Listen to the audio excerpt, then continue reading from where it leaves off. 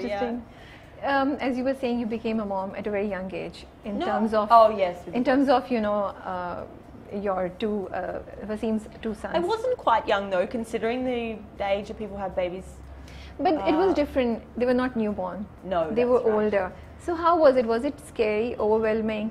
Because in one way, I think about if you're okay to talk about this, you know. No, no, absolutely. Um, They're because- part of my mhm. life. And I also feel that people um, who are stepping into a marriage, uh, in, into a marriage where uh, the person already has kids, this might be something that can help them, you know, uh, have a point of view from you or your experience, you know.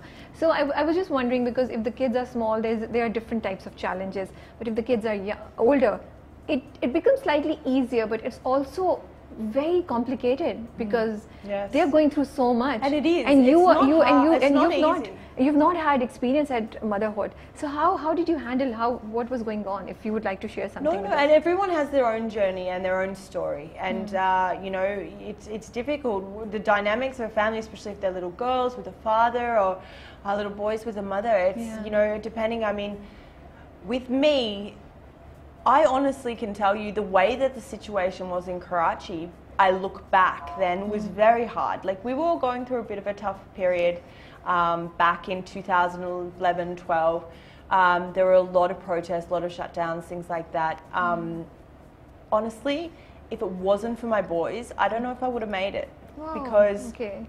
because I put my blinkers on. They were the most important thing. okay So it was like you just focused on them Yeah, I didn't even notice the things going around. But I was just, I have to get my kids.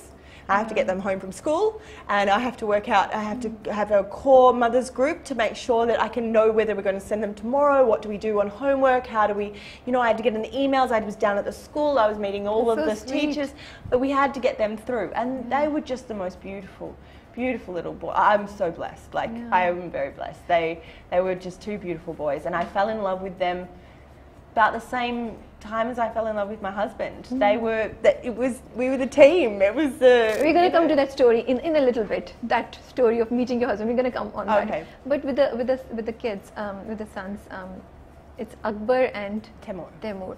Um, was it scary at the beginning when you found out, or was it overwhelming, no. or you were excited? No, it was good. really? Without them, I can't imagine what Yeah. life would be without them. We had so much fun. Yeah. It was about making them happy. Yeah. And But how did you do it? Because wasn't weren't there any slight apprehensions also in your mind? I can't, like I said, the things. No, there wasn't, No. and I can't.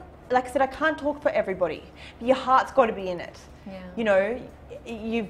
It, it's it's meant if it's meant to be it's meant to be your life then you you have to just go with whatever life gives you and I was lucky because when I when I met the boys we became instantly friends and that was so good because my their dad has a good heart. They have a good heart.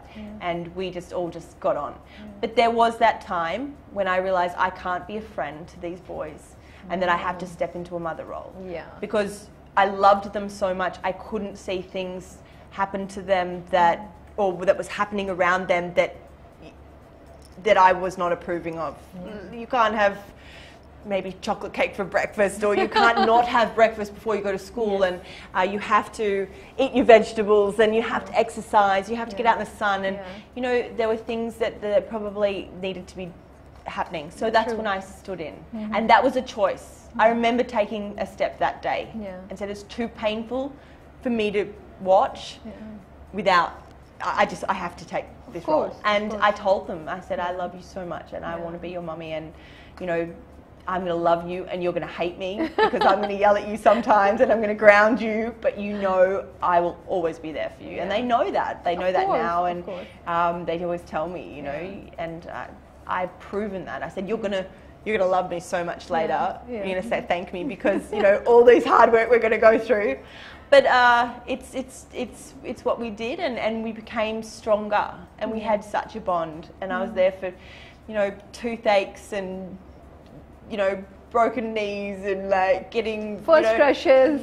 well, they didn't tell me too much about that, boys.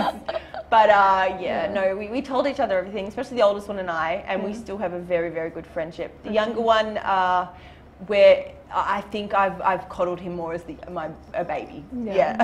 yeah. he's What kind of like, let go, let go. I can imagine I still try, and my wife is there, like, eat your vegetables. He's like, I'm 21. Oh, God. But uh, yeah, Okay. it's, I think it's all mothers know it's, Yeah. it's very hard to let go of the, Yes. the little one. But then what do they call you? Oh, th- I, we, I wanted to be called Shaniera. Oh, okay. They they, they've got the option, and Aila always asks them, why don't you call her mummy? Mm. And, and Tahmoor actually said the other day, okay, do you want me to call her mummy? She goes, yes. Yes. So Tahmoor started calling me mum. Um, Thanks to quite Aila. funny, yeah. Yeah, Um, but Aila's, Aila's, yeah, definitely uh, fitted in very well in the dynamic. I'm sure she must be Mm. so pampered and spoiled and loved by the brothers and all of you guys, you know. Well, we still we still talk a lot about their mum. We have pictures on our all around our house of her. We talk about her on her birthday. Um, we talk about her on her Barsi, and we make sure that she's very much alive. And so I- didn't want to take that away from them. They know I'm mum. They tell everyone else I'm mum, but they also have their mum.